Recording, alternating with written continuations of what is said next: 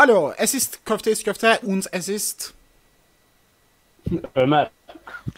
evet, eee, bu sefer bir Almanca giriş yapayım dedim ama bilmiyorum içmesini. Almanca bilmediğini batırdım ben. Sen sadece Ömer dedin. ne diyebilirim? Hiçbir bilgim yok Almanca konusunda. Eee, und ich bin Ömer diyebilirdin mesela. Hiçbir fikrim yok. Alman kızları dışında Almanya konusunda pek bilgim yok. Eee, liseyi ben Almanca görmüştüm. Ha, sorsan eee, sadece yemek siparişi verebilirim şu an Almanya'da. O ayrı mevzu. Benden çok Almanca biliyorsun yani. Evet. Neyse, eee, konumuz Almanca değil bu sefer. Bugünkü konumuz ne Ömer abi? Bu konular aslında senin ilgi alanın. Oyunlar. Evet. Linux'ta oyunlar. Linux ve oyun bugünkü bölümümüz. Bugünkü demeyeyim bu haftaki ya da bu ayki mi diyelim. Program Vallahi bir türlü düzene bir oturtalım. konuda köften bir konuda ayrışalım. Linux ve oyun deyince sanki iki ayrı kavram gibi bahsediyorsun. O eskidendi. Evet doğru. Steam o konuda bayağı bir aa, atılım attı ama buna gelmeden önce ufak bir istatistik göstermek istiyorum. Önden açalım. Ve bu istatistikten bahsetmeden önce bir detaya daha değineceğim. Açalım bir. aa, artık ekran görüntüsü kullanıyoruz. Neyse. Ben YouTube'un community kısmını bayağı bir kullanmaya başladım son zamanlarda. Ve hani tavsiyem beni orada takip etmeniz. Çünkü orada ben birkaç bir şey paylaşıyorum. Mesela güzel bir anket yaptım ve bu anketten bahsedeceğim. İzleyicilerim arasında Linux kullananlar en çok hangi dağıtımları kullanıyor? Ve şur burada neyi öğreniyoruz Ömer abi? Windows kullananlar daha fazla. Windows kullananlar ankete katılmadı diye. Neyse. Sen %3'lük bir kesimde yer alıyorsun. Bir Fedora'cı olarak. E, o Fedora'cı ilk, ilk oyu veren benim. O şeyi başlatan Ha, benim. evet. Akım başlatan benim. Ee, en çok o en çok oy olan taraf Ubuntu ve türevleri. Yani Elementary OS, Pop OS, Mint falan filan. Ondan sonra en fazla oy alan Arch ve türevleri. İlginç bir biçimde Arch kullanan bayağı bir kişi varmış. Herkes doğru yolu bulacak. Bir gün herkes Fedora'ya geçecek. Ee, neyse. Bunun yanı sıra diğerleri var. Ancak diğerlerinde Android diyen bayağı bir kişi olmuş. Ve şu an internet patatesliğimden yorumları yüklememeye karar verdi. Neyse. Aa, bunun yanı sıra ilginç bir tane Solus diyen bir kişi var. Mesela. Ve Solus da bayağı övülen bir dağıtım aslında. Neyse. Diğer yandan şurada da soruları sor. Hani bize soru sorun dedik. Bu soru sorun kısmı biraz önemli. Çünkü cidden Artık soru videoda... alabiliyoruz. He? Artık soru alabiliyoruz. Evet. Gelenler var. Soru soranlar artık var. Evet. Soru sorun bize. Bu arada yorumlarda da sorabilirsiniz. Ee, Benim bu postlarımda da sorabilirsiniz. Ya da bana isterseniz Mastodon'dan da sorabilirsiniz. Go to site. Evet. Burada Mastodon'dan sorabilirsiniz bana. Evet. Bu şekilde sorularınızı bekliyoruz. Bu arada arada hani duyuru videosu falan da yapabilirim soru sorun diye. Ancak onu bir süre yapacağım. Ondan sonrasında full bu community tarafından ya da Mastodon'dan soracağım sadece. Ya da yorumlardan. Evet. Şimdi o zaman sorulardan başlamıyoruz. Bir adet haberden başlıyoruz. Çünkü biraz konuyla alakalı. Nvidia 32 bit sürücü desteğini düşürüyor. Sonunda uzun zamandır istediğimiz bir şey gerçekleşecek. Evet, e, Ömer abiyle biz bu konuda biraz ilginç bir görüşe sahibiz. Hani 32 bit desteği üst kullanım kesimi tarafından bizce artık durdurulmalı. Yani üst kullanım son, piyasadaki en son 32 bit işlemci yanlış hatırlamıyorsam 10 veya 15 yıl önce üretilmişti. yok. Ya, Intel elin- atomlar var. Atomları köşeye bırakırsak atom zaten tamam piyasada tutulamadığı gibi bir şey bir an. Yani o da doğru. Ama atomlar var hani, hani arada. Ya, Atomlar, atomlar atomlarda gerçi bir 6 yıldır, İğrenç 5-6 bir- yıldır Evet. falan 64 bitler. 64 bit var mı bilmiyorum. Var var. Yeni atomlar 64 bit. Hani onlar da artık 32 biti bıraktı. Şimdi bu haberin detayını şöyle açıklayalım. An itibariyle Nvidia artık yani Nisan 2018 itibariyle 32 bit sürücülere hiçbir şekilde yeni özellik ya da hata düzeltmesi yapmayacak. Sadece kritik Hata düzeltmesi gelebilir. Hata düzeltmesi gelebilir. Kritik hata düzeltmesi Yo, gelebilir ama Dur. şekilde şey gelmeyecek. Bir saniye. Yeni Ben seviye direkt, ben direkt haberi okuyorum. Haberde Dur, direkt pardon.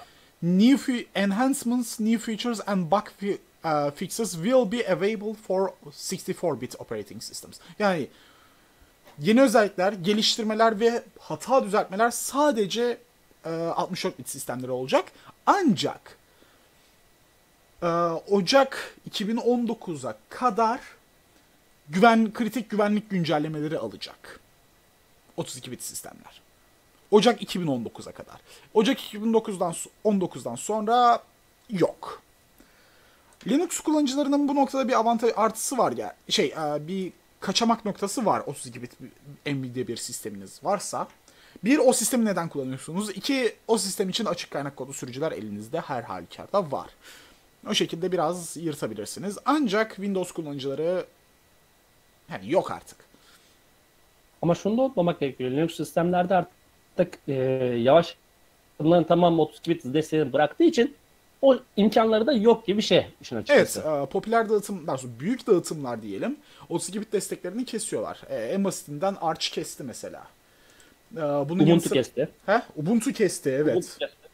Ya Ubuntu'nun bazı spinleri hala duruyor ancak mesela Ubuntu Mate e, ile Ubuntu Budgie desteğini kesecek 64, ha, 32 bitten. Bunun yanı sıra Fedora bayağı uzun zaman önce kesmişti. OpenSUSE'nin Hı hı. yok galiba. Şu ev, üvey evlat gibi tam ikimiz de takip etmiyoruz. Evet, hatta bir bakayım. OpenSUSE opensuse.org Hatta sizlerle beraber bakalım.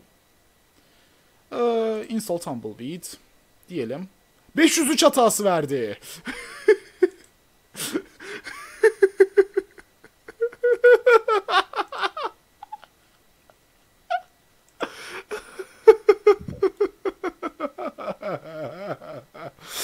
evet. ee, Ömer abi. Şey sonuç. Suse'nin, Değil, site, 404 Suse'nin sitesi hata verdi demin gözümün önünde. 404 vermesinde de iyidir. 503 verdi. 503 o geçici bir şey ya. makul o, O- makul o. Sunucu hata Kap- vermiş de 404 4 verseydi daha komik olacaktı evet. Yok. 503 arkadaşlar 503 numaralı e, e, hatası o anda sunucu çok yoğun olması durumundan Evet. geçici olayıyla bu isteğini kabul şey yapamıyor. Karşılayamıyor. Yani böyle çok bahsedilecek büyük bir sıkıntı değil. Bir 404 verseydi 404 dediğimiz zaten o sayfanın bulunamaması hatası oluyor. Direkt web design hatası oluyor o şey. Veya direkten sunucunun çok daha farklı. Sunucu değil bu sadece o anda isteğini karşılayamıyor. Aynen. Ya, hacı ben yetişemiyorum diyor. Evet. Neyse. O kadar yaygın ki. O kadar. Gerçi Enterprise Yani- tarafında yaygın ilginç bir biçimde. Ama OpenSUSE değil, normal SUSE.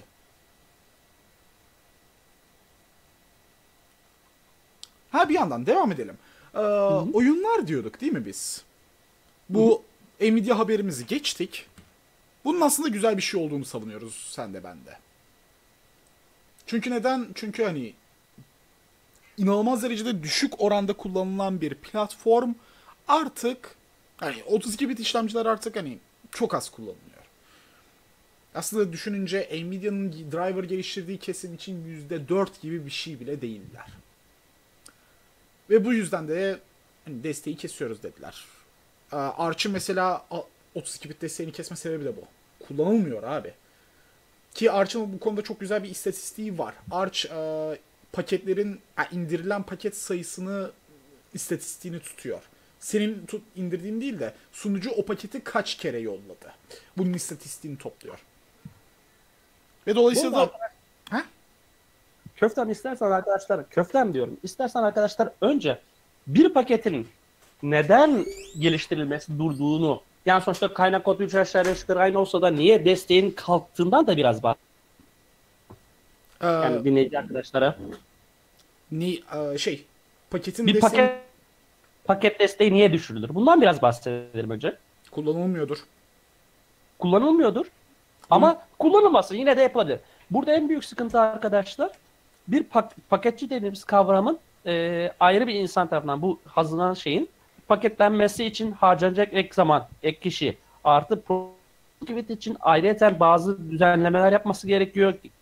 Sallıyorum kütüphaneler 32 bit için olan kütüphanelerin geliştirilmesi durmuş olabilir veya ne bileyim bu paketler e, geliştirilmiyor olabileceği gibi ek e, zaman harcamak gerekiyor. İki şey iki farklı donanım için güncel tutabilmek için yazılımı çok büyük bir uğraş ve zaman kaybı. Zaman eşittir para olayından gidersek bu şirketler için büyük yük. Evet. Bu yüzden dağıtımlar yavaş yavaş 32 bit desteğini bırakıyor arkadaşlar. Evet, e, basitçe olayımız bu şekilde. Ha bu arada mu- muhtemelen ömrünün sonuna kadar 32 bit desteğini kesmeyecek dağıtımlar da var. Puppy Linux gibi mesela.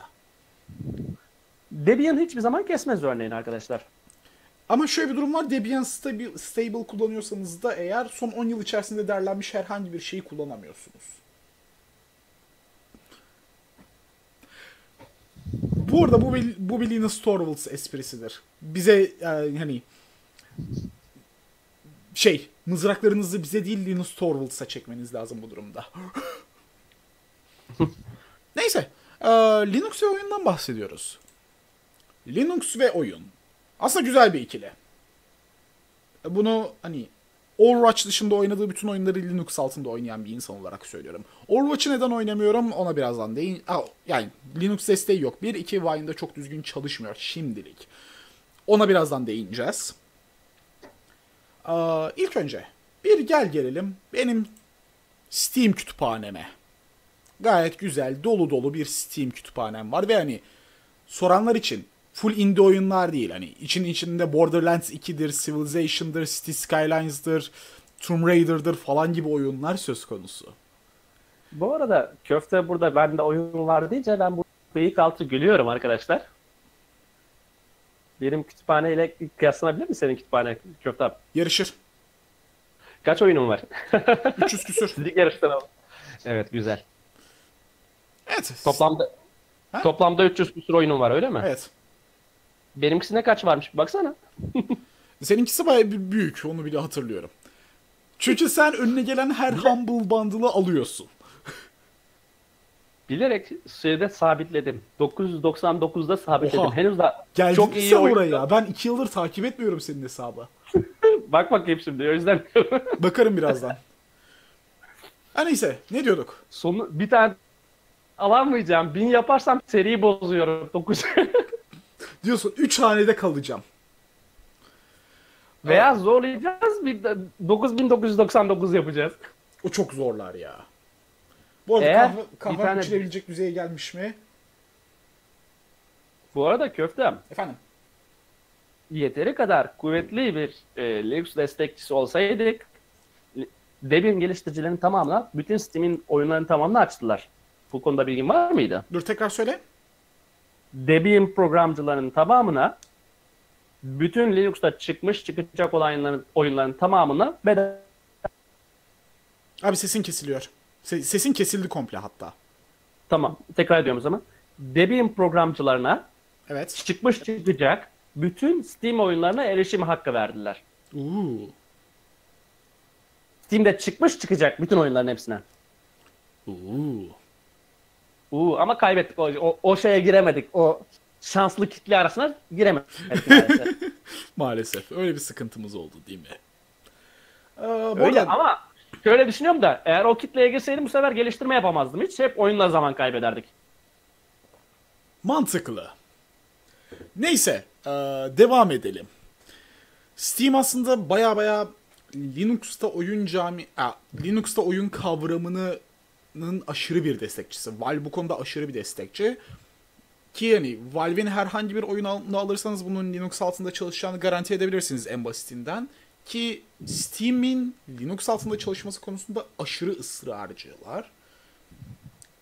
Ve SteamOS kendi işletim sistemleri. Debian tabanlı bir Linux dağıtımı tamamen. Bu arada ilk çıktığında Ubuntu tabanlıydı da sonradan Debian tabanına geçirdiler. Peki neden Linux altında geçmek istiyorlar? Çok güzel bir soru değil mi? Ömer abi, neden Linux altına geçmek istiyorlar? Linux altına geçmelerindeki en büyük sıkıntı, yani istemelerinin en büyük sebebi kendi bir e, cihaz üretmeyi planlıyorlar. Bu cihaz için de lisans parası ödemek istemiyorlar işin açıkçası en başında. En basit aç. Bu en başlangıç sebeplerden biri. Başka sebepler neler var? Birkaç tane daha sebepleri var çünkü.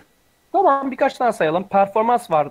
Her ne kadar Linux'ta oyun az bile olsa Windows'la karşılaştırdığımız zaman benchmarklarda e, genelde, hepsinde demiyorum, genelde Linux e, türevini geçebiliyor. Evet bu arada bu geneldeyi belirtmemizin önemli bir sebebi burada portu, portlamanın nasıl yapıldığı da önemli. Mesela Tomb Raider'ın portlaması biraz zayıf diğerlerine kıyasla. Ama bu ilk portu şey değil. Daha evet. sonradan düzelteceklerdir onları. Evet. Ee, ilk, diğer ilk yandan... Portlama yapıp sonradan düzeltilenler çok var. Aynen. Bu arada kullanılan teknolojiler de çok önemli köfte.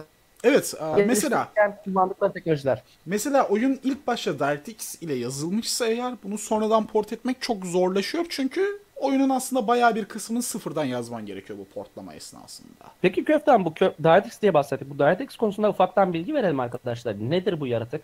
DirectX, Niye kullanılır? DirectX nedir? DirectX, ne zaman çıktı? Microsoft'un 3D e, hızlandırmadır, şudur budur için geliştirdiği bir kütüphaneydi. E, olayları neyse Ömer abi biraz sen anlat. Arkadaşlar DirectX dediğimiz olayın çıkma sebebi asıl sebebi Linux şey Windows 95'in çıkmasıyla sebep oldu. Yani Windows 95 çıktığı zaman DOS'tan geçiş yapıldı. Ve oyun geliştiricilerin tamamının söylediği, ortak olduğu bir tek konu varsa o da oyun için uygun bir işletim sistemi değil bu Windows 95 dediler. Bunun en büyük sebebi yani DOS tek e, single threaded bir yapı. Yani başka bir iş yapacağın zaman sistemin tamamı sadece oyunu çalıştırır DOS'ta. Microsoft, Windows'tan önceki sistemlerden bahsediyorum. DOS, Microsoft, e, Microsoft DOS'tan bahsediyorum. Yani benim çocukluğumdan bahsediyorum. Köfte yoktu herhalde o dönemlerde. Ee, 93 doğumluyum hatırlatayım. Yok evet. hani öyle bir şey yoktu. Hani kendimi hatırlamaya başladığımda Windows'ta grafik arayüzü vardı. O başlat butonu vardı. Çünkü işte arkadaşlar konuya dönecek olursam yani e, yaşıyorlardı. Donanıma doğrudan erişim imkanınız olmuyordu Windows 95 zamanında.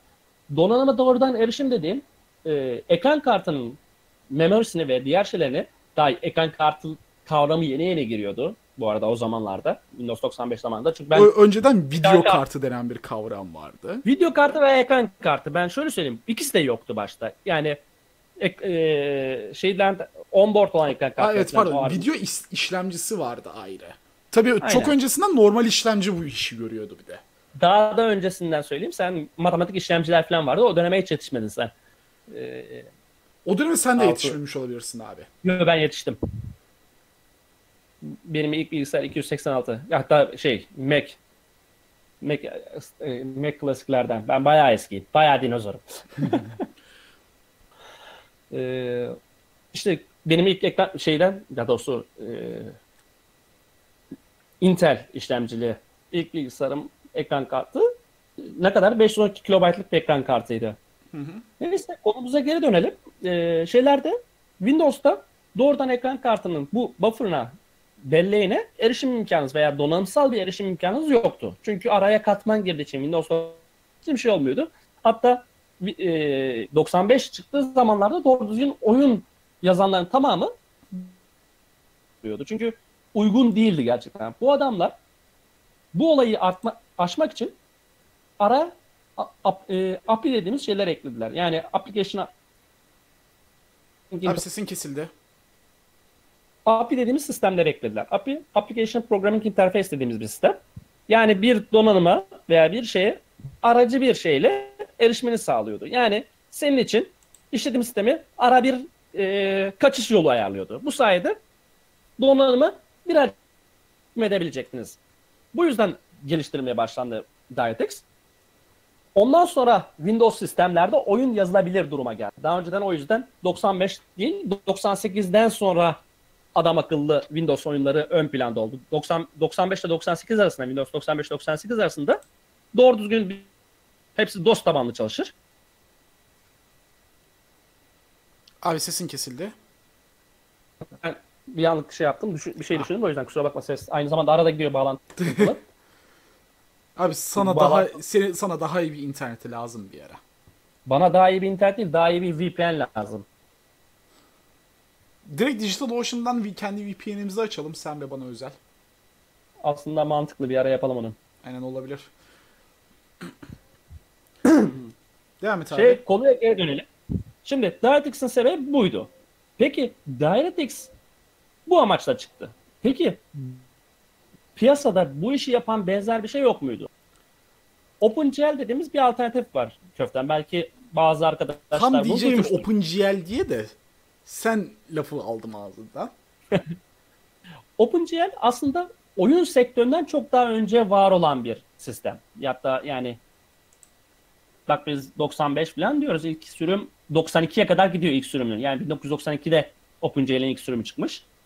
OpenGL e, kaynak şeyi e, hem kaynak kod açık olması dışında hem de şey sistemi e, şey sistemi açık. Yani architecture yapı sistemi açık.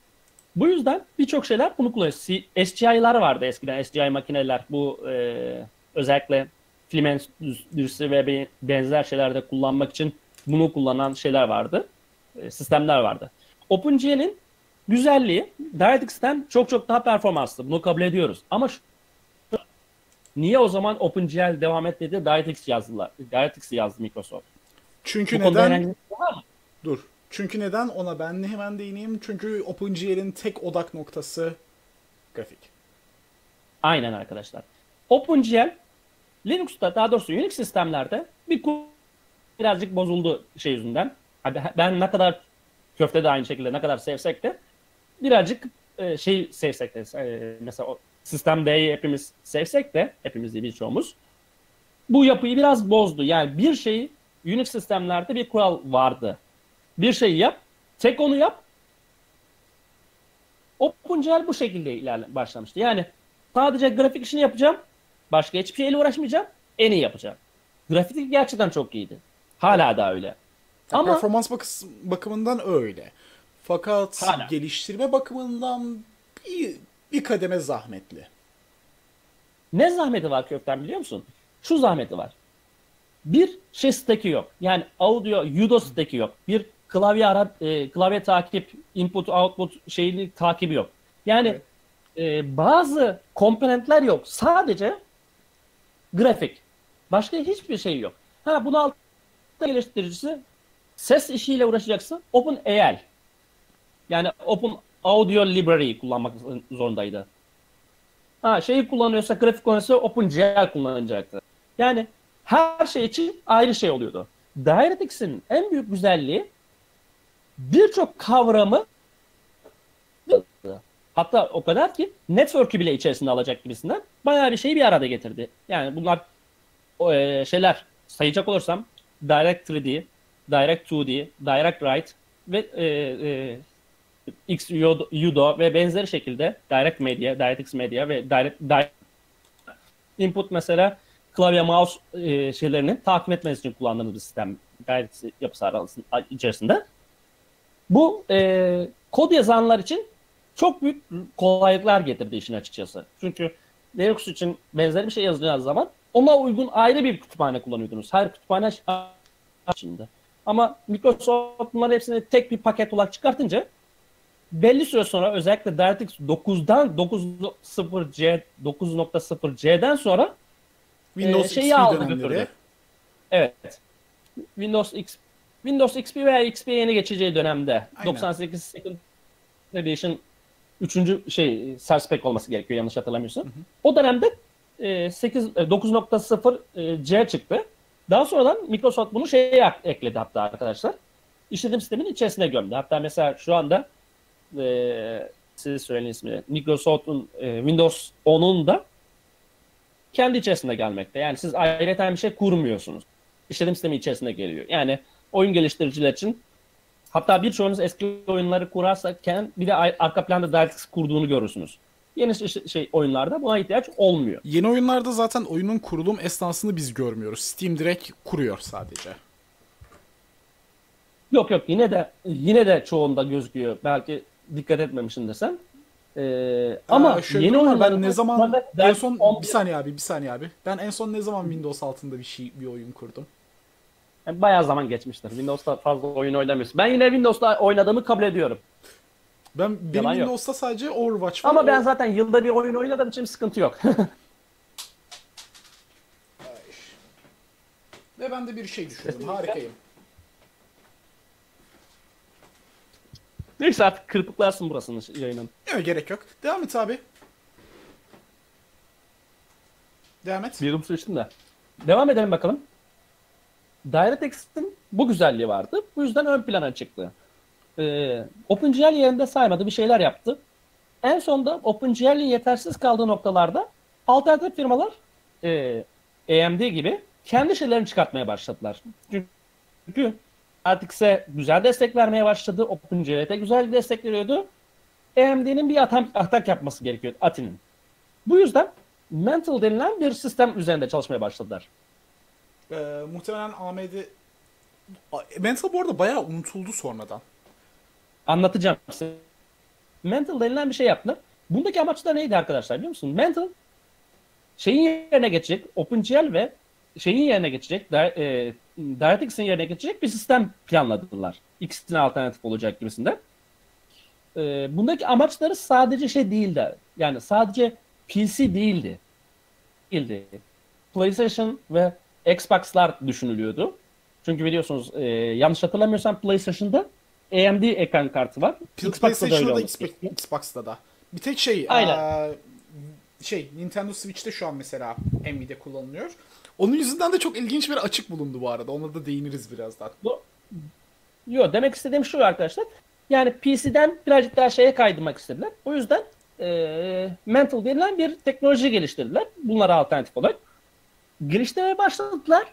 Ama şöyle bir dezavantajı vardı Mental'ın köften. Sadece ve sadece AMD ekran kartı yani bir Nvidia ekran kartınız varsa bu sistem işinize yaramayacaktı. Sonra ne oldu? OpenGL de kendini evrim, evrimleştirmeye, geliştirmeye başlayınca OpenGL Next veya e, OpenGL New Generation diye bir sistem geliştirmeye kalktılar. Ama sonradan baktılar bu isim o kadar tutmayacak. OpenGL yeni versiyon gibisinden şey. Aynı anda OpenGL'in eskisini de geliştiriyorlar. Bu sırada çok güzel bir olay oldu. Ahmet de dedi ki her zaman gibi cömertliğiyle kardeşim al bu Mental'ı size bağışlıyorum dedi. O yüzden Mental gitti köften. Evet. Yani AMD bütün kodu, bütün şeyi lisansı olduğu gibi eee şeye OpenGL'e bağışladı. OpenGL'in grubuna bağışladı. Eee, e, grup hangisiydi? Ben grubunu unuttum OpenGL'in bu arada. Ben de hatırlamıyorum. Neyse. Corex Group diye bir şey.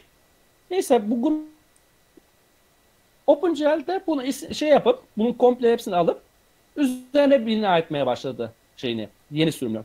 Belli süre sonra arkadaşlar güzel bir isim verelim dediler. Bu sırada baktı Microsoft bu yaygınlaşacak birçok firma 21'den fazla böyle destek vermeye başlayınca bu olaya yeni yazılacak OpenGL'e baya baya 21'in üzerinde bir e, firma destek vermeye başlayınca Bu arada içlerinde Valve falan da var. Valve var. Microsoft da bu işe girdi. Microsoft da destek verdi. Ve bunun ismini diye bir isim verdiler. Yeni şeyler, oyunlar artık yavaş yavaş Vulkan dediğimiz bu teknolojiye geçecek. Peki bu Vulkan'ın bu arada konu biraz kapma, e, Bu arada abi kaymadan şu an kaymadan bir tek podcast'i söyleyeceğim. bir saniye abi şu an podcast'i ele geçirmiş durumdasın. Sesin gidiyor. Sesini bir daha söyle. Ee, Anlamadım dedim sonra. ki podcast'i ele Nasıl? geçirmiş durumdasın şu an. Abi Hadi. Ses gitti. Son söylediğimi bir daha söyleyebilecek misin? Köftem? dedim ki podcast'i ele geçirmiş durumdasın. Kusura bakma Köftem. Bu arada şöyle söyleyeyim Köftem. Sana sorayım o zaman. Bu Linux'ta o yaygınlaşmama sebebi neydi? Dur tekrar söyle abi soruyu. Soru kesildi. Linux sistemlerde oyunların yaygınlaşmama sistemi neydi? Tamam DirectX vardı, OpenGL vardı. Peki Linux'ta niye yaygınlaşmadı? Aa, Linux'a niye yaygınlaşmadı? Birkaç sebep var aslında. İlk sebep zaten aa, pazar payı. Daha sonra masaüstü kullanımdaki pazar payı. Bu birinci sebep. İkinci sebep DirectX aslında burada çok önemli bir faktör. Çünkü DirectX gibi her şeyi kapsayan bir kütüphane Linux altında yoktu. Dolayısıyla da geliştiriciler için Linux tamamen ikincil bir hedef ya da gereksiz bir zahmet olarak Bir de görülüyordu. DirectX'in kendisinin kapalı kaynak kodu olması var. Evet, DirectX bu arada sadece Windows altında çalışan bir platform. Aynen. Mac'te bile çalışmıyor. Peki şimdi yeni gelecek Vulkan'ın ne gibi güzelliği olacak? Android'de bile çalışıyor. Aynen. Yani Her programcı şeyde olarak çalışıyor. ben bir şey yazdığım zaman Linux'ta şeyde o da bu da fark etmeden bütün sistemlerde destek olmuş olacak. Ha şey, şöyle bir durum hani şöyle Vulkan'ın özetleyelim. başka ne yararları var? Tamam Vulkan Bir- hem Linux'ta çalışıyor hem Windows'ta saniye abi, bir çalışıyor. saniye abi, bir saniye abi. Ya. Bir şey diyordum. Dinliyorum. Ee, yani şu şekilde belirtelim bu arada hani Vulkan'la geliştirdiğiniz bir oyunu diğer plat hani Windows, Mac ve Linux altında ayrı ayrı çalıştırmak için değiştirmeniz gereken kod sayısı eski yöntemlere göre çok daha az olacak. Yani bir yandan mesela eskiden diyelim Windows için DirectX ile geliştirdiğiniz oyunu onu Linux ve Mac'e portlamak için OpenGL'e çevirmeniz gerekiyordu. Ve yani diğer OpenAL'dır, şudur budur gibi kısımlarını da yapmanız gerekiyordu. Ve bu hani oyunun yarısından fazlasını sıfırdan yazmanız demek oluyordu. Burada sadece kullanılacak kütüphaneleri değiştirmenizdir. Onlara özel bazı değişik kollar yapmanızdır vesaire gerekecek. Ancak oyunun kodlarının büyük bir çoğunluğu değişmeden aktarılabilecek. Devam et abi şimdi. Aynen. Bu arada Vulkan'la geliştirilen oyun motorları da yavaş yavaş piyasaya çıktığı için işlemi de artık o kadar fazla gerekmeyecek gibi. Çünkü motor değişikliği şey yapmadığı için, Evet. ihtiyaç olmayacağı için daha az dert olacak. Peki benim bir başka sorum var köftem. Dinliyorum. OpenGL, OpenGL hem Windows'ta hem Linux'ta zaten çalışıyordu. Veya OpenGL'de yazılan. E Evet. peki OpenGL niye Vulkan? Vulkan'ın ne artısı var Dur OpenGL'e? tekrar abi, aynı tekrar söyle abi. Soru senin sesin çok kesiliyor. Aynı şekilde senin bana da ses gelişi çok kesiliyor da o yüzden yarısını anlayamıyorum söylediklerinin. Buna bir çözüm bulmamız gerekiyor bir ara. Bence sorun Sorum senin ağ bağlantısında. %99. Yüzde... Benim sorum şu. OpenGL hem Windows'ta hem Linux'ta hiçbir sorun olmadan çalışıyordu. Tamam mı? Evet. Peki aynı şirket niye Vulkan'ı geliştirmeye kalkıyor? Ee, çünkü OpenGL sadece Vulkan'ın yararı ne? Ne- bir OpenGL sadece bir grafik katmanı. İki OpenGL en az Linux kadar eski bir teknoloji ve dolayısıyla bunun, bu yüzden aşırı derecede eski kodlar. Dolayısıyla onu river, hani sıfırdan yazmak yerine daha sonra onu yenilemek yerine sıfırdan bir projeye başlatmak aslında daha mantıklıydı. Burada dezavantaj olarak geri uyumluluktan feda, fedakarlık edeceksin ancak uzun vadede Yalnız Köftem şöyle bir olay var. Benim bildiğim kadarıyla Vulkan da sadece grafik işini yapıyor. Yani bir DirectX gibi bütün hepsini içermiyor. Yo, gene şey input output'larla da uğraşıyor. O kadar değil. Yani bir DirectX'in desteklediği DirectX, in- e, DirectX input kadar değil. Vulkan'ın en büyük desteği, en büyük farkı ne biliyor musun Köftem? Nedir? Vulkan ilk defa threaded programlamaya izin veriyor. Dur tekrar söyle. Multi-threaded programlamaya Vulkan ilk defa izin veriyor. Aa. OpenGL'de operasyonlar sırayla işletiliyordu. Vulkan'da multi-threaded yapı kurabiliyorsun. Yani bir kuşun kanat çırpmasıyla senin orada tekme atman eş zamanlı üretilebiliyor, yürütülebiliyor. Eski sistemde önce kanat çırpma şeyini yapıyordu sonra tekmen geliyordu. Vulkan'da eş zamanlı bunlar ilerleyebiliyor. Multi-threaded özelliği geliyor. Bu büyük bariz farka neden oluyor. Özellikle çok çekirdek işlemci kullanıcıları için bayağı ki zaten günümüzdeki her işlemci aslında. Aynen. Çok çekirdekli, çok işlemcili. Çok işlemcili zaten fazla bulunmuyor. Onun yerine çok çekirdek zaten günümüzde yaygın. Ya çok işlemci sunucu tarafında ya da workstation tarafında hala yaygın da. Yani niş Evet, bir işte. kitle. Direkt. Bir başka yararını biliyor musun köfte? Vulkan'ın bir özelliği OpenGL ve DirectX'te oyun çalıştığı anda grafik kartında veya işlemcide çalışıyor. Hı. Ya GPU'du ya CPU'ydu. Bu yüzden bu, DirectX veya OpenGL'li oyunlara bakarsanız ya da işlemcinin %100 olduğunu ya da şey olduğunu, %1'lerde durduğunu görürsünüz oyun oynarken. Yani işlemciniz çok yüksek bir işlemci bile olsa oyunda o kadar büyük fark etmez derdik. Hı hı. Vulkan'da ise var olan kaynağın düzgün kullanımı için bunu dengeleme imkanı getirdiler. Yani Ee, bu arada o, o özellik ekran kartında bazıları bu arada o özellik aslında Mental'dan aldıkları bir özellik bir yandan da. Mental'dan Doğrudur. miras Ama kalmış bir özellik. bu olay ilk defa Vulkan'la birlikte yani Mental herkese açık değildi sonuçta. Evet, Mental sadece AMD için geçerliydi de e, Vulkan bu teknolojiyi herkese yaydı. Yani teknolojiyi oradan aldılar. Geliştirdiler. Tıpkı SLI zamanında Nvidia'nın SLI'ye yaptığı gibi. SLI mesela şey Nvidia teknolojisi değil aslında. Yok e, Nvidia'nın olması gerekiyor. Değil. Cross, cross, cross bilmem ne Yok. AMD'nin. E? SLI nerede gelişti? Yok, SLI nerede gelişti biliyor musun?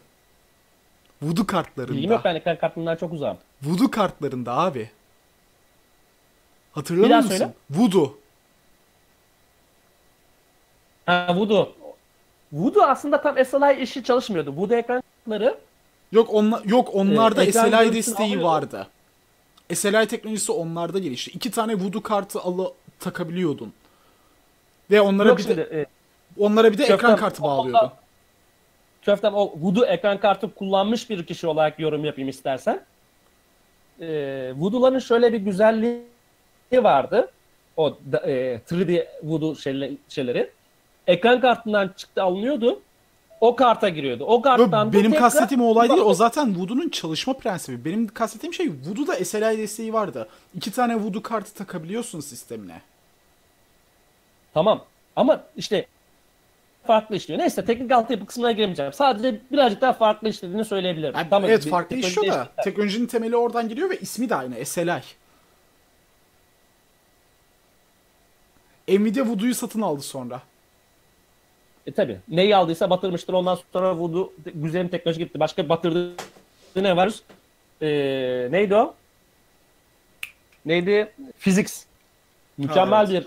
bir sistemdi. Bazı arkadaşlar görmüştür, bazıları hiç duymamıştır bile ismini.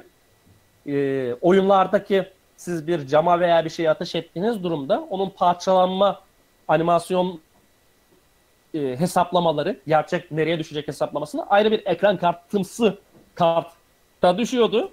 Sonra senin ekran kartın bunun hesapladıkları şeyleri render ediyordu, ekrana çiziyordu.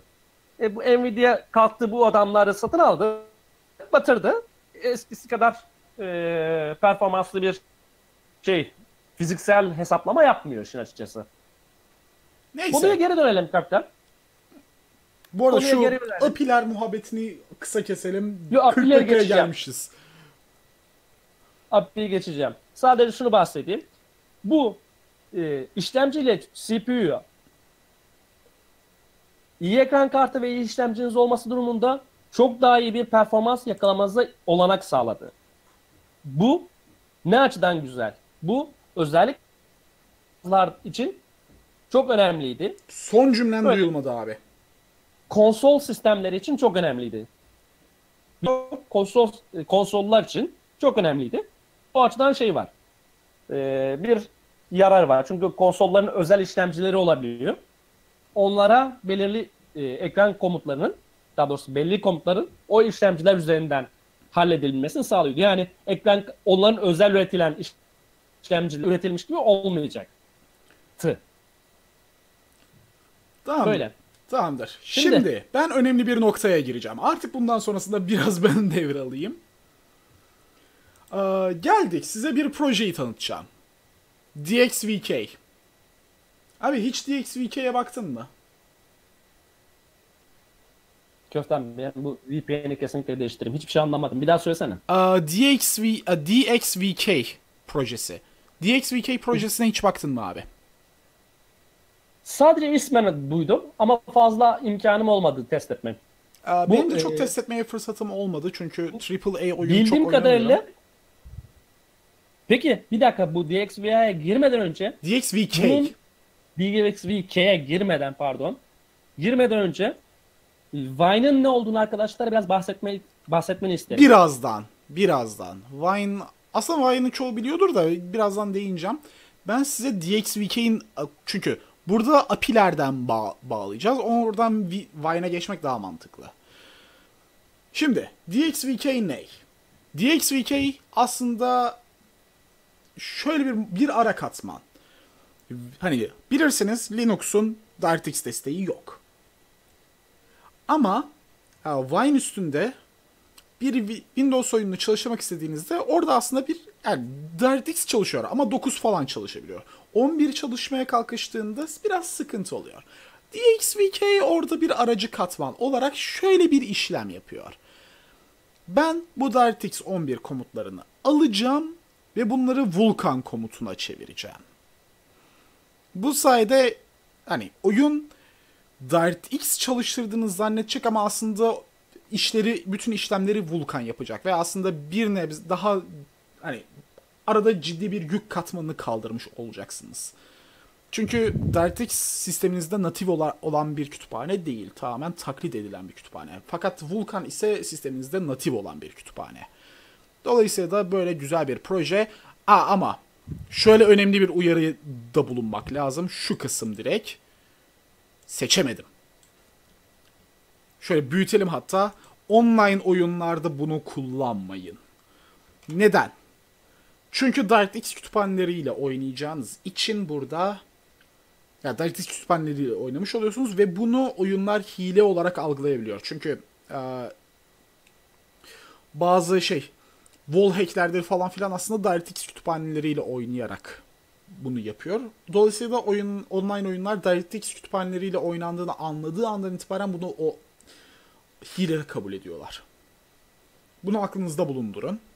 Ama lokal bir oyun oynayacaksanız mesela e, Nier Automata oynamak istiyorsunuz. Bunu kullanın. Evet, basitçe olay bu. Şimdi Vine'a geçelim. Vine ne?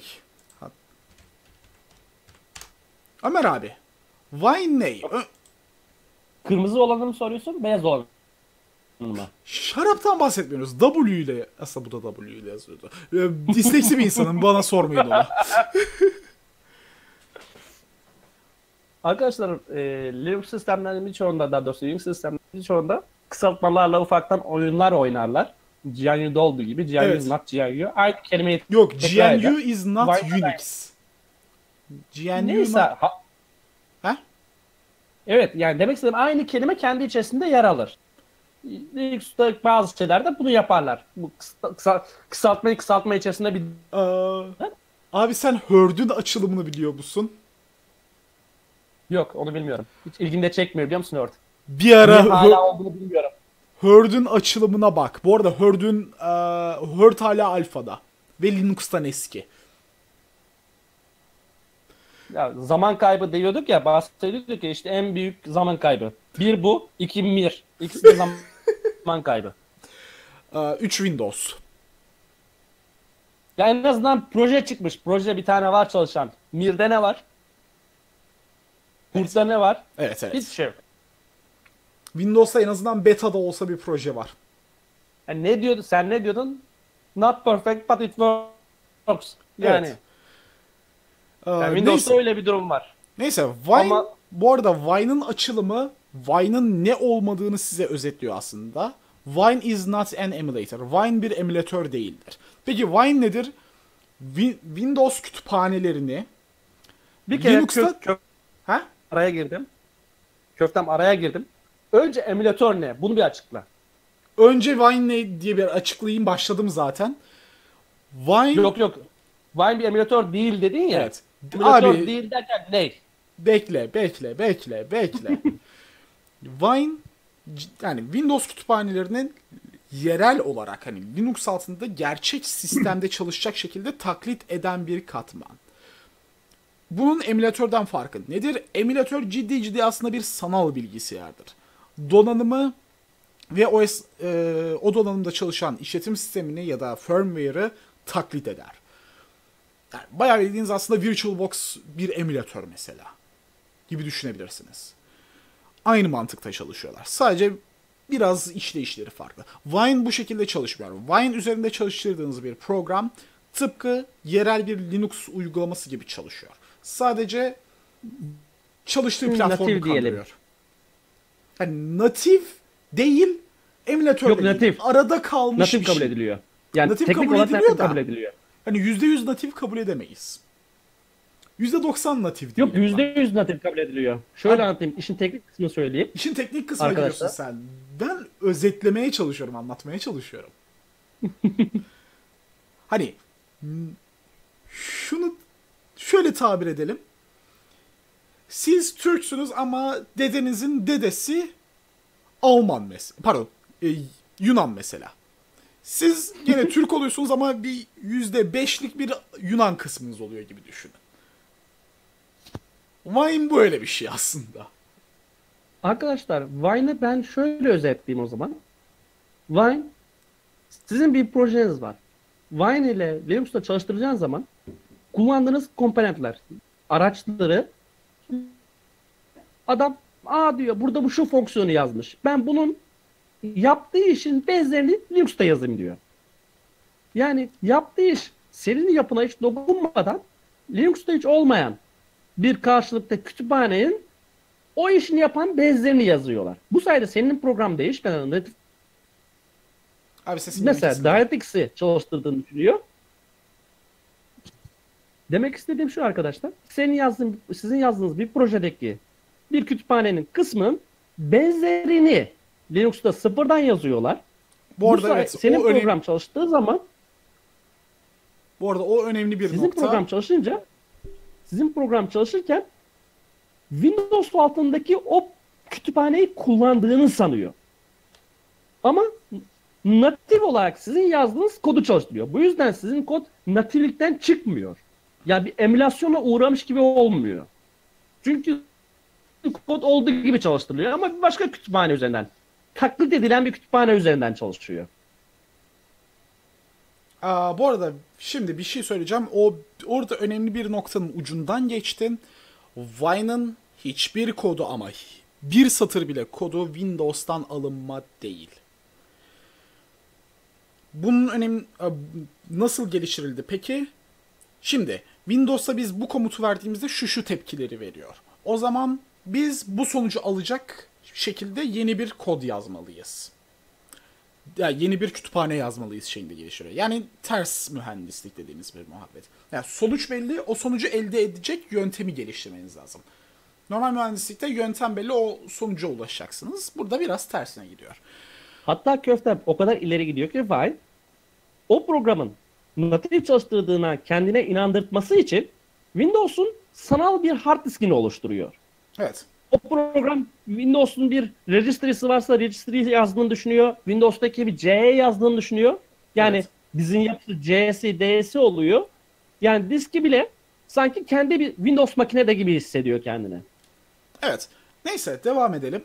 Wine e, bu şekilde bir uyumluluk katmanı, bu arada hani emülatör değil uyumluluk katmanı. Tıpkı e, DXVK gibi.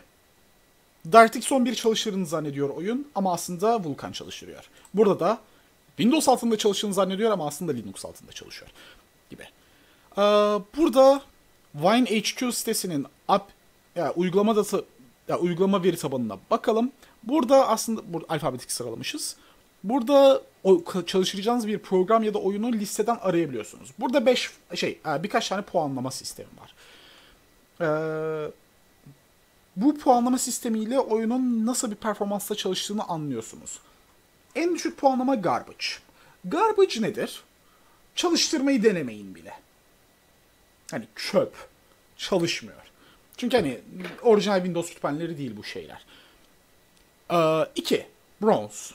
Bronze çalışıyor da çok bir şey bekleme. Hani e, zorundaysan çalıştırama. Çok uğraşma. Silver çalışıyor ama birkaç ufak problemi var. Biraz belki performansı falan biraz kötü. Ama çalışıyor. Oynanabiliyor ya da kullanılabiliyor. Gold Windows'taki ile 3 aşağı 5 yukarı aynı şekilde çalışıyor. Mesela World of Warcraft ya da EVE Online gayet Windows'taki gibi çalışıyor. Ya da Steam. Ve gelelim Platinum'a. Platinum için benim kullandığım bir tanımlama var. Ömer abi bu tanımlamayı sen hatırlıyor musun? Ömer abi? Heh, sesin gitti. Heh. Bir daha söyleyebilecek misin son? Ee, benim Vine puanlamalarında Platinum için kullandığım tanımlamayı hatırlıyor musun sen abi? Benim için herhalde büyük ihtimalle e, Epic gibi bir şey dersin. Çünkü o program Windows'tan daha hızlı çalışıyor olma Yok. ihtimali var. Çünkü Platinum'un benim tanımlamam şu Platinum için. Bu programın bir Windows programı olduğuna emin miyiz? Çünkü cidden Windows'tan daha iyi çalışıyorlar bunlar. Evet. Böyle bir durum söz konusu ve hani aralarında bunlar var. Neyse. eee, oyun listesi bu. O oyun var burada full. Neyse. Evet Vine arada- böyle bir katman ve bu Vine'ı kullanan... Efendim. şunu da belirtelim. Vine sadece oyunlar için kullanmıyor, Evet. kullanılmıyor arkadaşlar. Vine, Vine'da her, her Windows programını çalıştırabiliyorsunuz teorik olarak. Yani amacı o. Yani Notepad'i kullanmak isterseniz çalıştırabilirsiniz. Evet. Bu arada arkadaşlar 20 yılın sonrasında ilk defa Microsoft Notepad'inin kaynak kodunu güncelleme daha doğrusu Notepad'in kodunu güncelleme kararı verdi. Not 20 yıllık bug'ı kapattı Notepad. Evet. Artık Notepad Notepad'de yazdığınız bir pro bir dosya Linux ya da Mac'te açıldığı takdirde saçma bir biçimde gözüküyordu. Artık gözükmeyecek. Ye artık Notepad'e geri dönelim. Atom bırakalım. Aynen öyle. Neyse Notepad++'dan iyidir. Ee, neyse.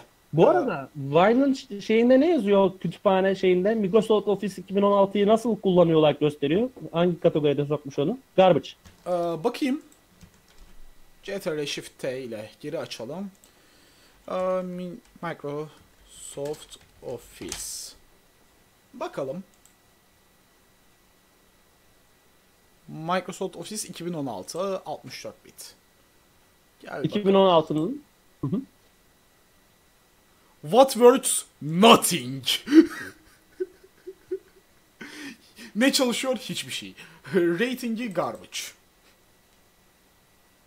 Evet arkadaşlar ben şu sebeple bunu sordum köfteye. Vine kaynak kodu açık bir proje. Bazı şirketler bu Vine'ı alıyorlar. Üzerinde çeşitli düzeltmeler yapıp kaynak kodu kapalı olarak sat- satabiliyorlar. Bunlardan bir tane Office denen Crossover denilen bir şirket.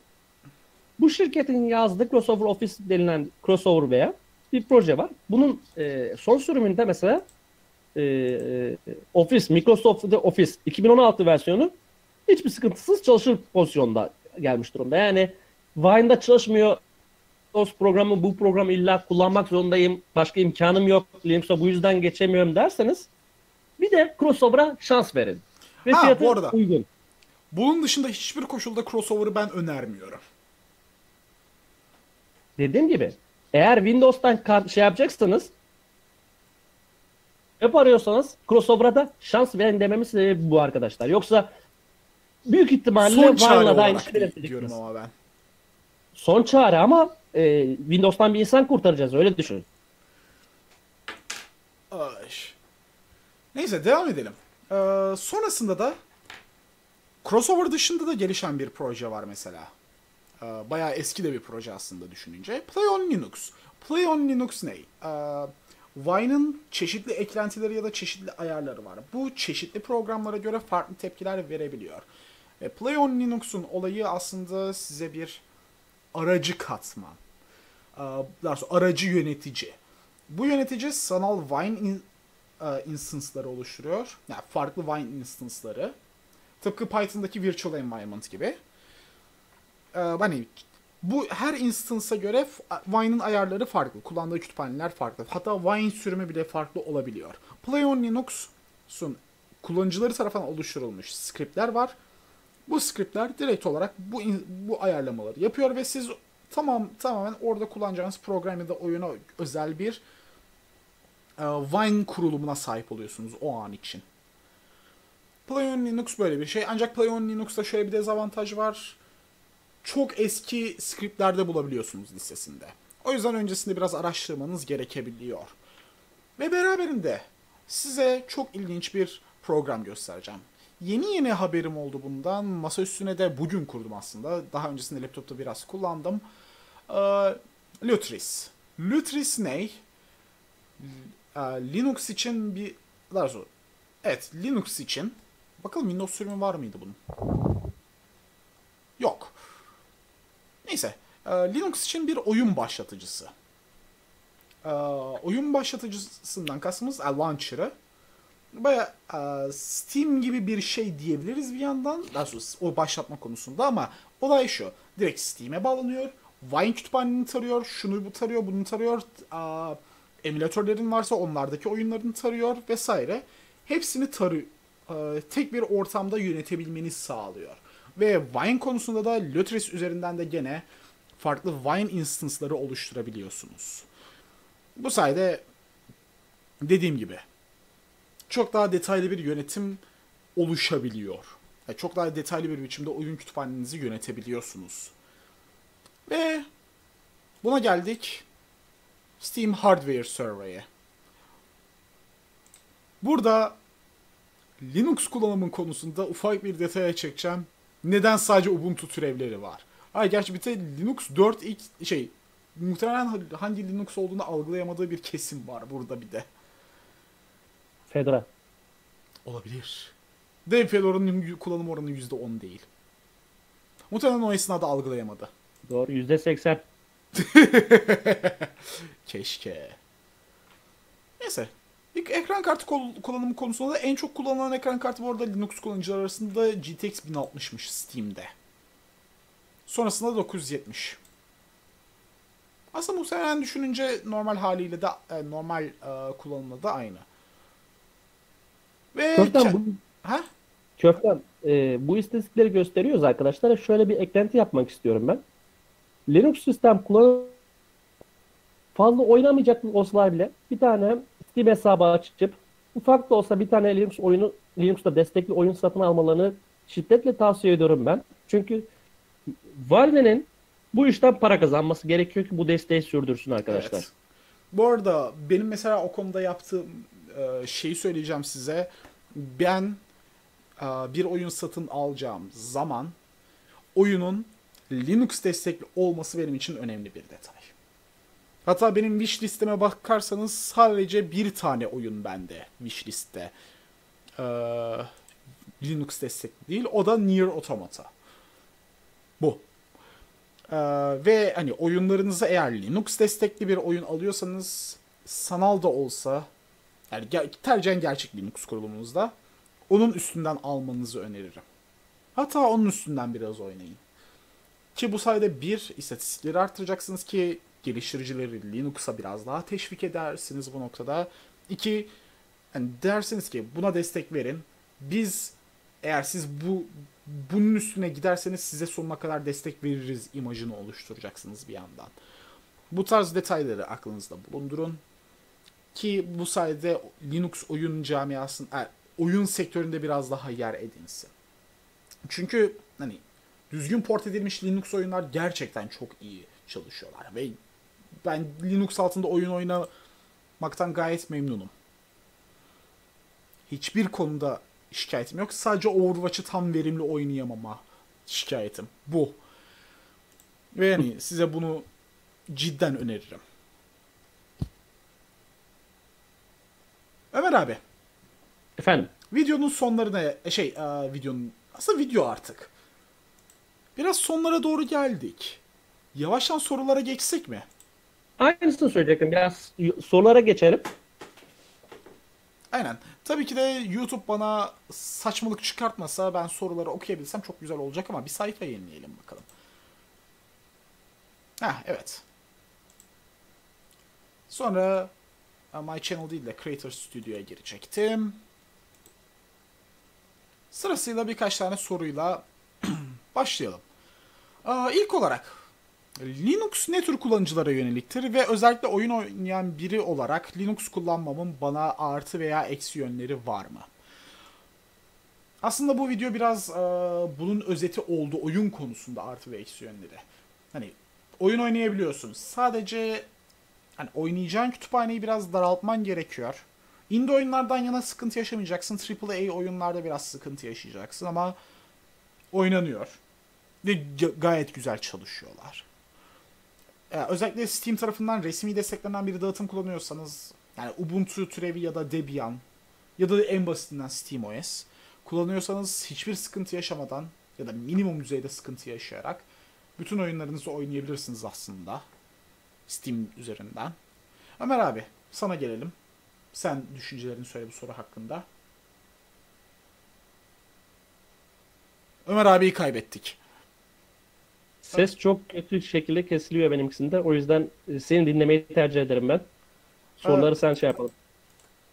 Şey, e, bu soruya gene sen bir e, yanıtını ver. Soruyu tekrar edersen yanıt Aa, Linux ne tür... Aa, aslında sorunun ilk partını yanıtlamadım. Linux ne tür kullanıcılara yöneliktir ve özellikle oyun oynayan biri olarak Linux kullanmamın bana artı veya eksi yönleri var mı? Sen soruyu bana yazı olarak yolla çünkü hiçbir şey anlaşılmıyor. Yaptım bile. Saniye gelirse tamam. Ee, benim yorumumu alacaksan bu soru konusunda Linux her tür kullanıcıya uygundur arkadaşlar. Hatta şöyle yapılmış eskiden testler vardı. Ee, özellikle yaşlı kullanıcılara daha doğrusu şöyle söyleyeyim durumu. Ee, hayatında bilgisayar hiç kullanmamış kullanıcıların önüne bir Windows bir de Linux makine getirip ikisini kullanmasını istemişler. İstendi. E, internetten, YouTube'dan eski videoları bulabilirsiniz. Linux sistemleri kullanımı onlara göre daha kolay olduğunu gördüler. Yani alışma açısından, şey açısından. Ee, Birçok kişinin Linux'ta sıkıntı yaşamasının bir numaralı sebebi alışık, alışkanlıklarından geliyor. Yani Windows alışkanlıklarından dolayı Linux onlara zor gelebiliyor. Aslına bakarsanız şu anda yavaş yavaş bu alışkanlıkları hatta birçok özellik sallıyorum sanal masaüstüleri ve şeyler bizim senelerdir Linux'ta sahip olduğumuz özellikler. Bunlar Windows insanlar için garip geliyordu. Yavaş yavaş onlar da buna alışacaklar. Konsol olayının tamamen Linux, Windows'ta tekrar canlandırılması gibi. Şey Oyunlar açısından olaya dönersen her kullanıcıya uygun dedim oyun olay. Büyük eksiklikti. Çünkü bilgisayar dediğimiz olay oyunsuz olmuyor arkadaşlar. Bir işletim sisteminin kullanım oranını çok büyük etkileyen bir detay oyun oyun. Her ne kadar yani günlük şey kullan, masaüstü çalışma, kullanım bakımından diyelim. Oyun çok büyük etkileyen bir şey, etken. Masaüstü bak kullanım bakımından diyelim. Çünkü sunucu tarafında oyun herhangi bir ektör e, etken değil. Bir daha söyleyebilecek misin Köften? Masaüstü tarafından diyelim. Çünkü sunucu evet, tarafında masa, oyun herhangi bir etken değil. Doğru, sunucu tarafında hiçbir şey yapmaz, haklısın. masaüstü kullanıcısı bir şekilde masaüstü kullanıcısı bir şekilde oyuna bir şekilde dokunuyor. O yüzden eksiklikti. Valve sağ olsun ve gelişen bu e, Vulkan sayesinde bu eksiklik artık yok denilebilecek gibi. Pozitif yanları sistem geneli olarak daha verimli çalıştıran bir sistem olduğu için eğer bir oyun port edilmesi DirectX üzerinden ara katmanla değil de doğrudan Vulkan gibi bir şeyle yapılıyorsa daha iyi performans alıp daha e, performans özellikle network alanında oyunlarda daha güzel mesela özellikle FPS oyunlarında. Ee, bunun en basit örneği mesela, mesela uh, Counter Strike. Linux Aynen. altında en çok oynanan oyunlardan bir tanesi mesela Steam'de. Doğrudur. Çünkü e, şeyiniz network stack çok daha yapa, şey başarı performanslı olduğu için e, karşı taraf hatta hile kullandığınızı düşünebilecek kadar farklı kullanıcıysanız. Yani o açıdan birazcık daha şey olacaktır. Yani Bu performansın arada... size getirisi olacaktır. Bu arada bunu şuradan kanıtlayabilirim.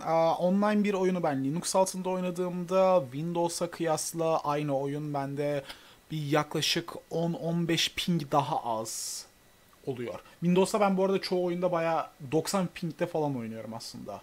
60 ile 90 bir ping de, arasında. Bir de şunu söyleyeyim arkadaşlar.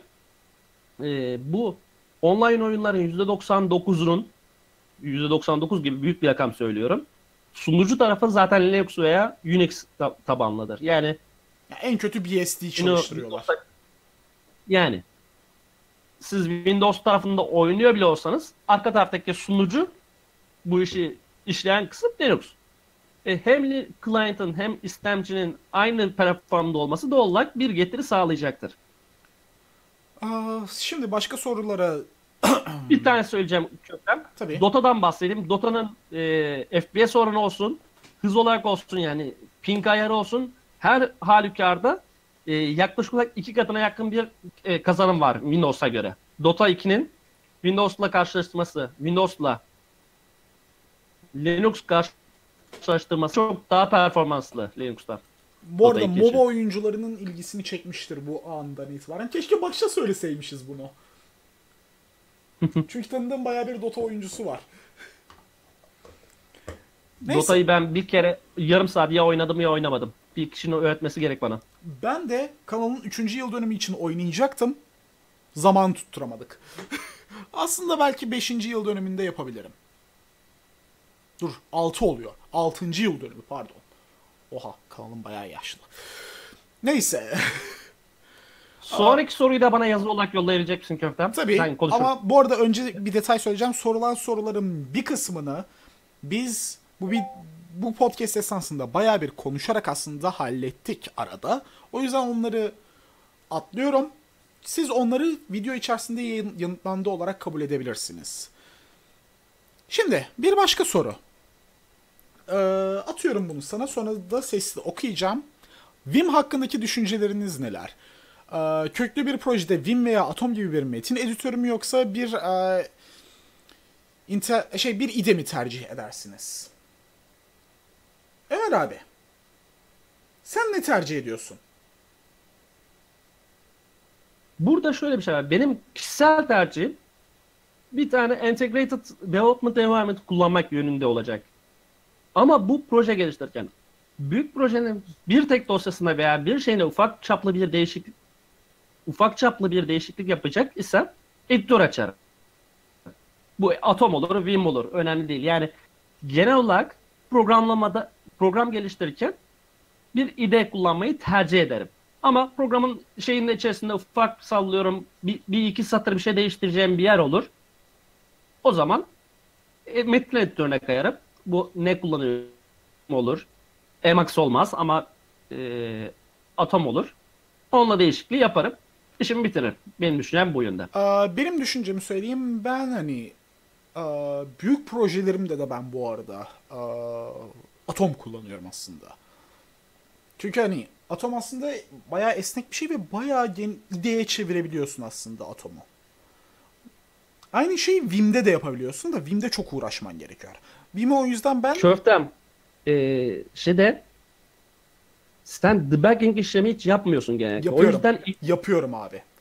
Debugging Bellek- işlemi yapıyorum bellek- ve Atom'da bunu bellek bu şey değil, yapabiliyorsun satır, gene. satır satır çalıştırmak değil. Bellek üzerindeki stack üzerindeki durumunu kontrol etmek olanından bahsediyorum. Ha. Bir C++ veya bir şey Yani değil. çünkü ben derlemeli Ee, ya şey onları yapmıyorum çünkü derlemeli dillerle uğraşmıyorum ben. Bir kalkıp da bir web sitesi işiyle uğraşıyorsan zaten o kadar bir açın yok Yani genelde. Ama bir programlama ben hala daha birazcık eski kafalıyım.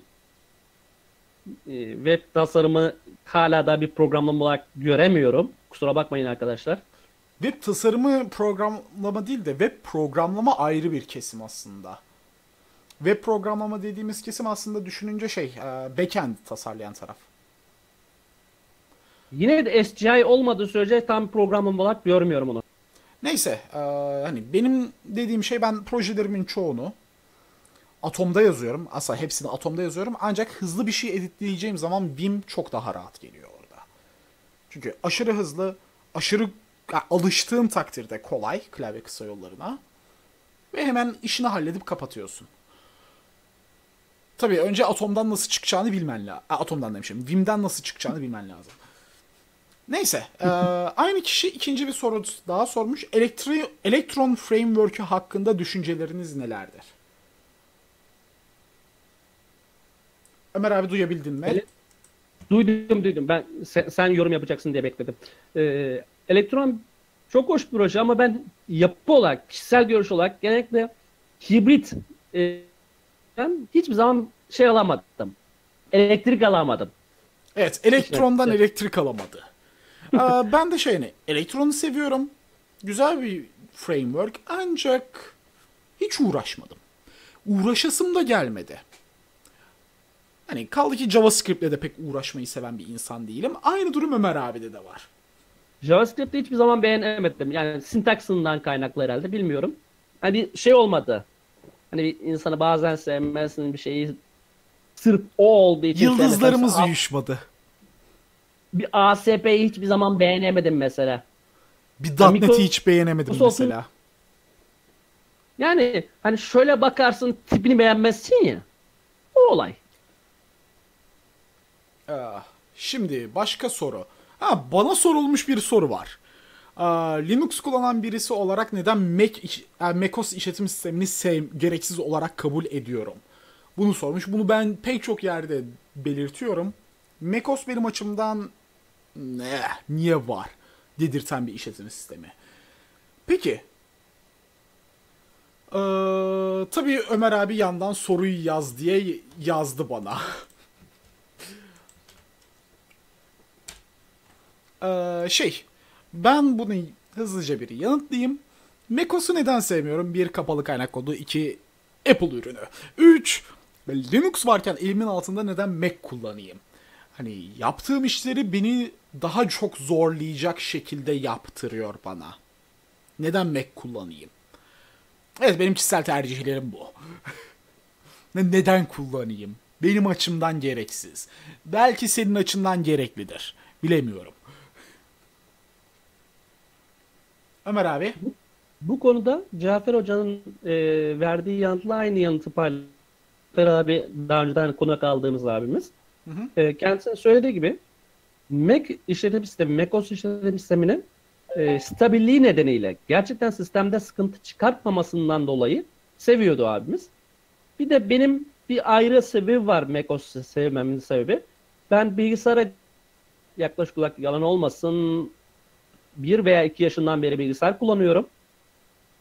İlk bilgisayarı hayatıma girişi benim 4 yaşındayken kendi 4 3-4 yaşındayken amcam profesördür. Ee, beni o yanına bırakıyorlardı. O zaman evlerde bilgisayar yok. Ee, bilgisayar başındayım o derse gittiği zaman. O zamanlarda sadece Mac sistemler var. Daha Intel işlemcili bilgisayarlar ortalıkta yok. Mac'le gözümüzü açtık. O yüzden Mac'leri seven, Apple ürünü seven kişi olmamın sebebi bu. Bir fanboyluğum yok yani. Aa, bu arada abi ben o ilk noktaya hiç katılamadım. Aa, benim zamanında katı, e, zamanında çalıştığım bir Medef şirketi vardı. Orada çok fazla Mac cihaz var ve ciddi ciddi hayatımda hiç yaşamadığım kadar sorunu ben Mac'lerde gördüm. Mac'leri ben stabil kabul etmiyorum. Ve stabil kabul edenler bunu nasıl başarıyor onu da anlamış değilim. Hem kısıtlı bir sistem hem de benim gözümde stabil değil. Bunun Köştem seninle hep anlaştığımız bir konu vardı. Stabillik kavramını arkadaşlar anlatırken birazcık şey olmasın. Mesela Microsoft Windows çok stabil bir işletim sistemidir. Evet, stabil olmama konusunda aşırı stabil. Böyle bir do gerçek var. Evet. M- e, macOS bu konu benim gözüm aslında düşününce stabil olmama konusunda da stabil değil. Bazen stabil çalışıyor ama sorun çıkarttı mı tam çıkartıyor gibi düşünebiliriz. macOS tavsiye edeceğim arkadaşlara da macOS tavsiye edeceğim yanlar var. Mesela bazı şeylerde macOS gerçekten çok iyidir. Mesela örneğin Ha, e, benim tavsiye edeceğim tek bir nokta var. Grafikle, şeylerde. grafikle uğraşıyorsanız macOS mantıklı. grafik. Neden? Çünkü grafik e, bu grafik sistemlerini ilk çıkartan şey Apple. Ondan da ileride şeyin Photoshop'un ilk sürümleri her zaman Mac'te başladı. Mac'te her- ve Adobe ürünlerin tamamı Mac'lerde çok daha performanslı çalışır. Yani zaten bir Unix sistemde çalışıyor. Hani Windows'a kıyasla Mac bir nebze mantıklı. Ama bu kesim için. Ama hani dediğim gibi. Benim gözümde gereksiz. Benim gözümde bu arada. Ona değineyim. Onu hani üstüne basa basa söylüyorum. Benim gözümde gereksiz. Ben şunu söyleyebilirim arkadaşlara.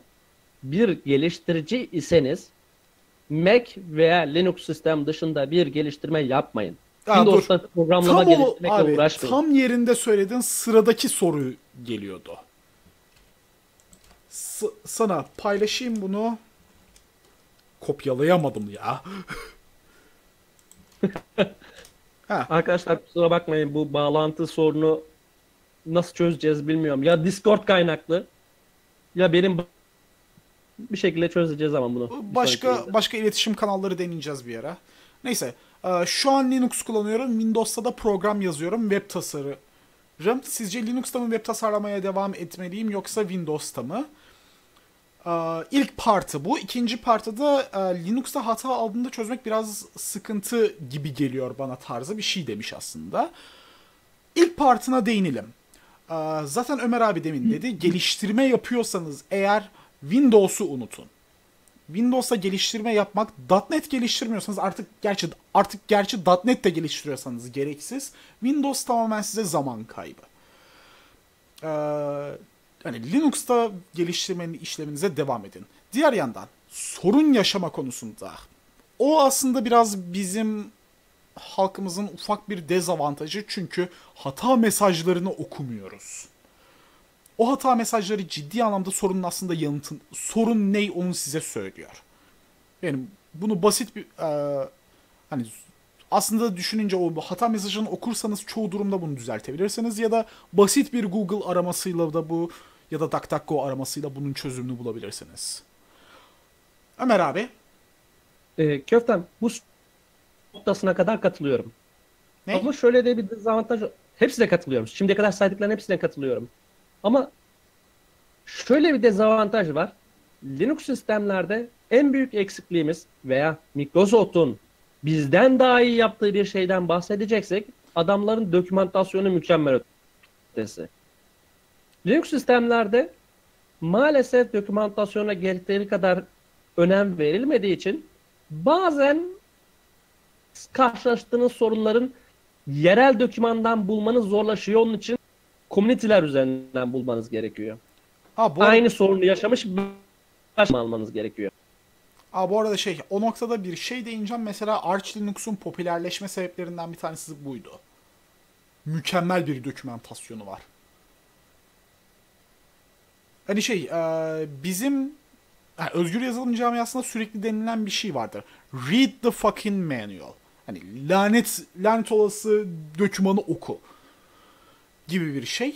Bunun bir de şu Türk özellikle Türkiye için şöyle bir versiyonunu yapsak mantıklı olabilir. Write the fucking manual. Hani yaz. yaz, yaz.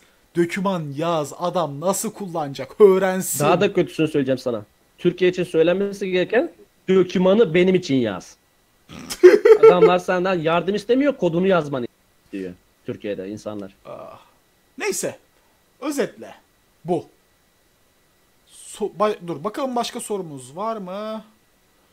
Ee, ha. Köfte. Google Assistant hakkındaki düşüncelerin neler?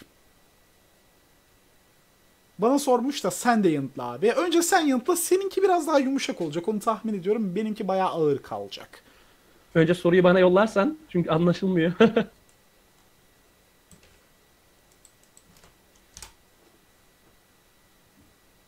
Evet attım bakalım. Bunun e, hangi kısmın ne düşüncelerim söyle bakalım. Google Yani Assistant hakkındaki düşüncelerin genel olarak ne ya abi? kendilerini çok seviyoruz. Burası senle zıtlaştığımız nokta. Ben hiçbir AI asistanı sevmiyorum. Ne Siri'dir, ne Google Assistant'tır. ne- Zaten yaygın olarak çok kullandığım bir şey Google Assistant. Benim değil. Ee, benim gözümde benim işimi tamamen zorlaştırıyor. Artı hani güvenmiyorum. Hani ciddi anlamda güvenmiyorum. Google Assistant'ı ben ciddi manada çok sık olarak kullanıyorum işin açıkçası. Yani bir rezervasyon konularında olsun, şeyler olsun, İşte- bir soru soracağım olsun, şey olsun. Abi tam olarak bu sebepten ötürü seni senin yerini aradıklarında 5 dakikada benim yerimi aradıklarında 1 saatte bulunuyoruz.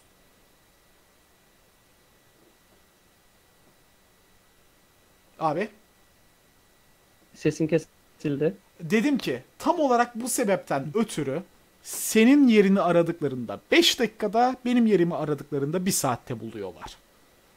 Yok Google Assistant denilen bu kısım değil şey köftem sen belki başka bir şeyle karıştırıyorsun. Google Assistant e, sallıyorum e, birçok şeyi e, sordurtarak yapıyorsun. Mesela sallıyorum Evet. saatlik boş saatlerim neresi veya Evet, ne bileyim evet, evet, evet. Ben aynı mantık üstünden gittim sadece. Hani bu tarz e, servislere sen daha fazla, daha sıcak bakıyorsun. Ben ise yok uzak kalsın benden kafasındayım. Bu tarz servislerin hepsine. hani Google kullanmayan bir insanım. artificial, artificial intelligence e, günümüzde yaygınlaşıyor. O açıdan ben karşı değilim hatta destekliyorum. Ee, ben Özellikle deep learning ve şeyler konusunda. yani ben o noktada biraz daha gri taraftayım. Hani böyle. Evet. Sanırım bakalım başka sorumuz var mı? Ee, sanırım başka bir soru yok. Evet. Sanırım bölümü de burada bitirsek uzun güzel olabilir çünkü bayağı 1 saat 21 dakika olmuşuz bile. O zaman Ömer abi çıkış için son cümlelerini alalım. Her ne kadar suçu lisan ettiysek affola. Biz dinlediğiniz için teşekkürler. Evet o zaman köftesi köfte ha, iz- dinlediğiniz için teşekkürler. İzlediğiniz için de olabilir artık. Köftesi köftenin günler, iyi eğlenceler.